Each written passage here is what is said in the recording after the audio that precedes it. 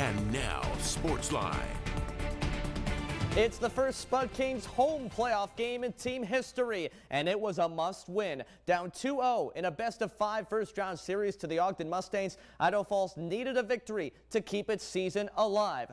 All of the lights shining down on the Spud Kings. Hero Arena breathing fire as the Spuds take the ice at the Mountain America Center for a sold out game three at the MAC.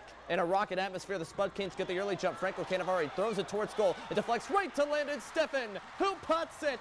The crowd is on its feet, and Idaho Falls leads. It's 1-0 Spuds. Late first period, the temperature rises to a boil. After recovered by Ogden goalie Nikita Volsky, he throws a right, then gets shoved before giving a performance that will get him cast in the next Christopher Nolan movie. Meanwhile, as a result of that shove, Brody Simcoe and Liam Donovan go at it, and keeping them separated, well, that was a tall task. Kudos to linesman Jeff Wagey and Matt Stone for breaking that up, and no, do not read their lips. To the second, six of Ogden's seven goals in this series have been scored on the power play, and Max von Klinggrave makes it seven of eight to tie the game at a goal apiece. That was the score after two periods and after regulation.